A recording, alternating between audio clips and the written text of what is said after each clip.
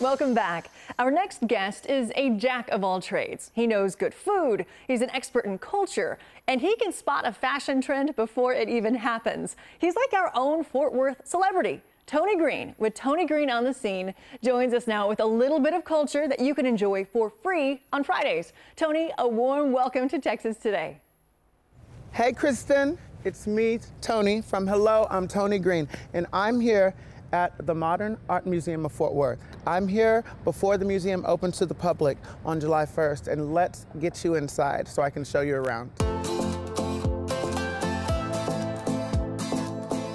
I could not be more excited to be joined by the senior curator, Andrea Karnes. I was here for Mark Bradford's opening party. What can you tell me about Mark? Mark Bradford is an artist who grew up in Los Angeles in basically the back of his mother's hair salon. So much of his work is about that early experience of being in the salon.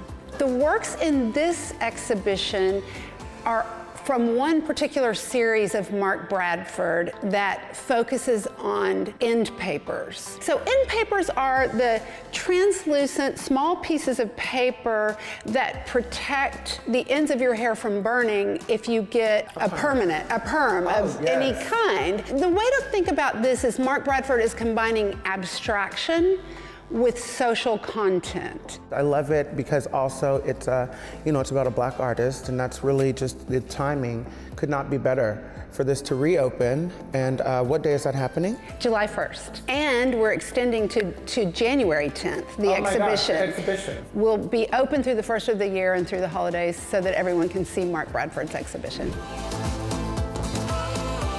Oh my goodness. What are you doing here, Jay? Well, I was just looking at this insane installation by Red Grooms called the Ruckus Rodeo. It's beautiful, it's wild colors. This is my friend Jay Wilkinson, the artist from Fort Worth, and I'm so excited. We're gonna take a little tour.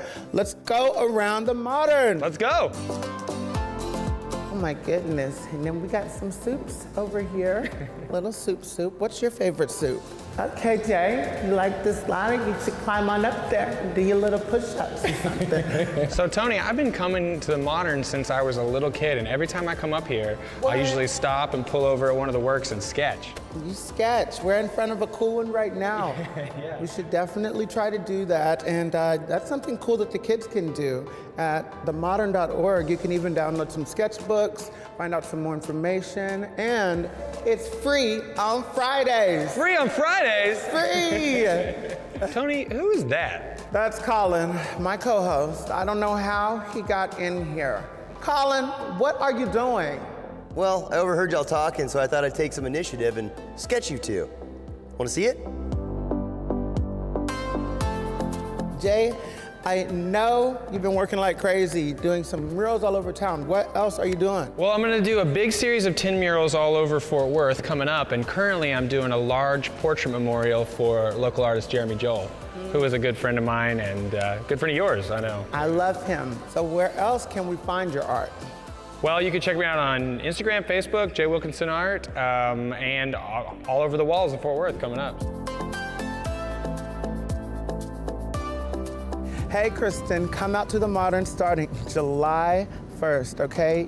Come and see it for yourself in Fort Worth, Texas. Goodbye for now, but not forever. Goodbye. Goodbye for now, but not forever. Tony, you are fantastic, and I love the suit.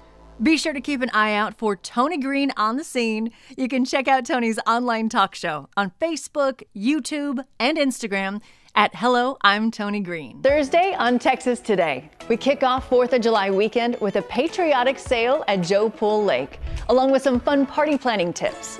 Skincare expert Lonnie Stoker shares tips to keep your skin healthy this summer. And don't miss my weekend getaway to Lake Murray State Park in Oklahoma. That's all coming up Thursday on Texas Today.